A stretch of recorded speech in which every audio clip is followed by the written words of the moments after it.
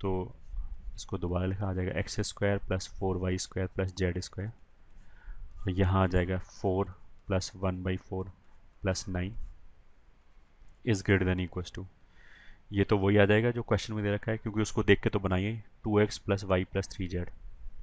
तो यहाँ आ जाएगा two x plus y plus three z का होल स्क्वायर। ठीक है? ये आ गया x square plus four y square plus z square. Into ये हो जाएगा नौ और चार कितना हो गया? तेरह. इंटू फोर कितना हो जाएगा? फिफ्टी टू प्लस वन कितना हो गया? Fifty three by four is greater than equals to question में इसका वैल्यू कितना दे रखा है? ये ट्वेंटी दे रखा है. तो इसकी जगह ट्वेंटी रख दिया. ये हो गया ट्वेंटी का स्क्वायर तो यहाँ से आएगा x square plus four y square plus z square is greater than equals to, इस कांस्टेंट को उधर लगे तो four upon fifty three into twenty square कितना होता है? चार सौ। तो ये हो गया sixteen hundred upon fifty three. मतलब x square plus four y square plus z square. इसका value sixteen hundred upon fifty three के या तो बराबर होगा या उससे बड़ा होगा। मतलब इससे छोटा नहीं हो सकता। तो उसका मतलब मिनिमम पॉसिबल वैल्यू कितना आ गया? यही आ गया। तो this implies x square plus four y square plus z square इसका मिनिमम पॉसिबल वैल्यू कितना हो गया? Sixteen hundred upon fifty three इससे छोटा नहीं हो सकता। गिवन कंस्टेंट को सेटिस्फाई करते हुए जो वैल्यू है। मतलब ये भी कंस्टेंट है कि एक्स वाई जेड ऐसा नहीं कि आँख बंद करके कुछ भी उठा लें। ऐसा उठाना है कि ये रिलेशन सेटिस्फाई भी होना चाहिए।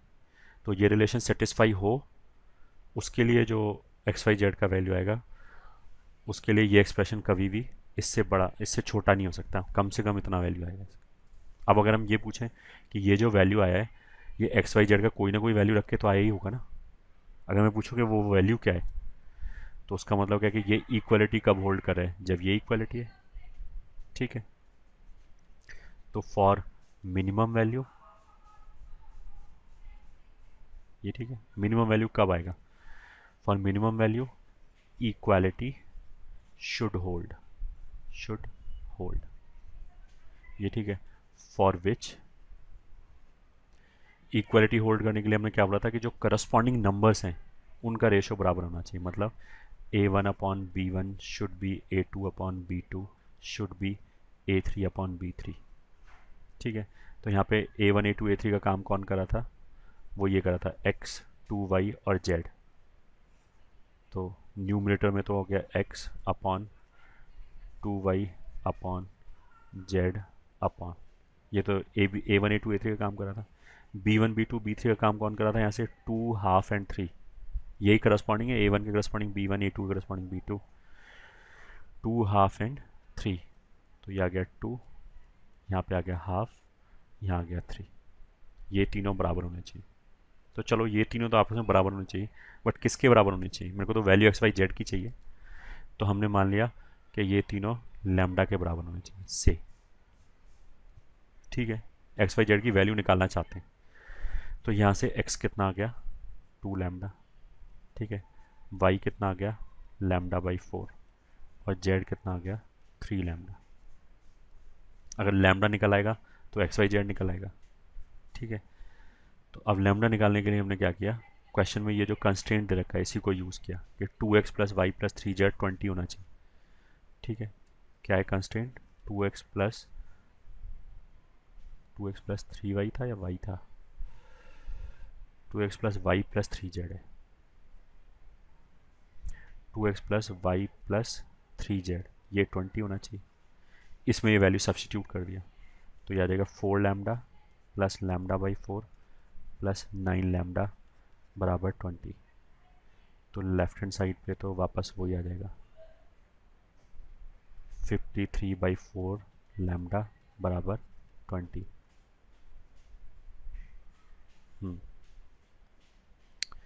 Which implies lambda is equal to कितना होना चाहिए? Eighty upon fifty three.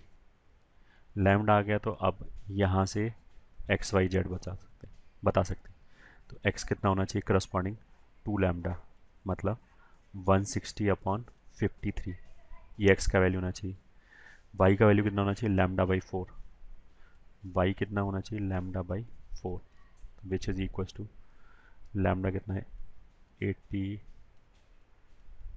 तो कितना हो गया है? ट्वेंटी अपॉन फिफ्टी थ्री ये वाई का वैल्यू होना चाहिए। और जेड कितना होना चाहिए?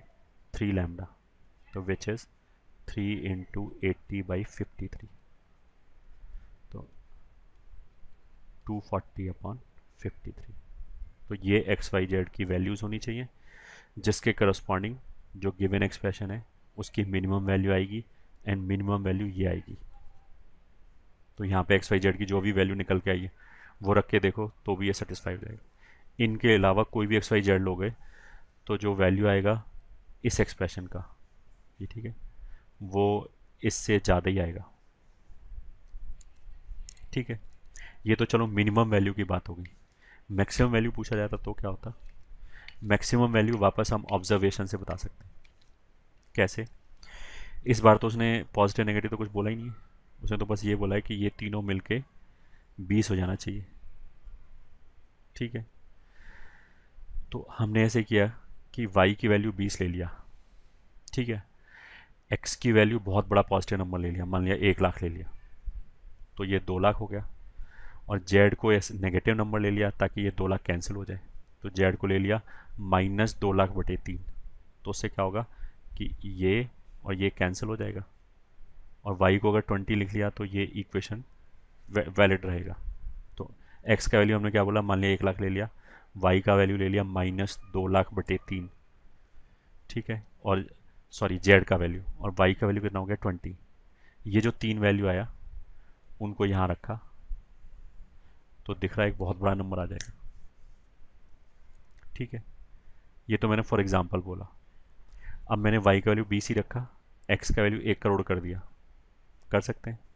तो जेड का वैल्यू कितना हो जाएगा? माइनस दो करोड़ बटे तीन।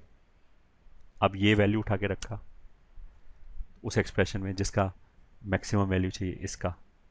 तो और भी बड़ा वैल्यू आ जाएगा, बहुत बहुत बड़ा वैल्यू आ जाएगा। अब समझ में आ गया हो कि हम क्या कर रहे हैं। अब क्या करेंगे इसके आगे? एक्स का और बड़ा नेगेटिव वैल्यू रखा तो वो जो एक्सप्रेशन है वो और बड़ा हो जाएगा। कहने का मतलब क्या है कि उस एक्सप्रेशन को जितना बड़ा वैल्यू निकालना चाहे आ जाएगा उसका। मतलब इन्फानेट की तरफ़ ले जाना चाहे तो आ जाएगा।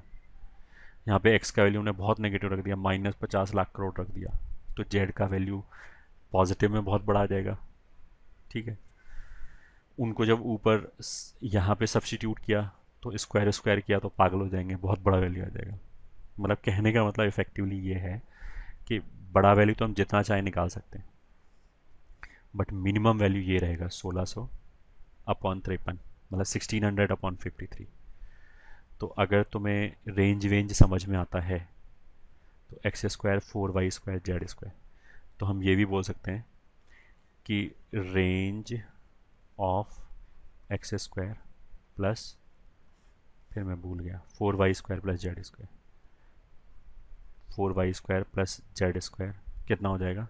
मिनिमम वैल्यू तो आ रहा था सोलह सौ बटे फिफ्टी थ्री यही था शायद। हम्म, और जो मैक्सिमम वैल्यू है वो हमने बोला डज नॉट एग्जिस्ट है। वो तो हम इनफाइट की तरफ़ ले जा सकते हैं। तो यहाँ से लेके इन्फिनिटी तक। ये रेंज हो गया इसका। अगर रेंज समझ में आता है। If you are in eleventh और रेंज समझ में नहीं आता तो तुम सुनो ही मत कि हमने क्या बोला। वो आगे ट्वेल्थ में समझ में आ जाएगा। बट यहाँ तक तो समझ में आना चाहिए। ठीक है I hope this should be clear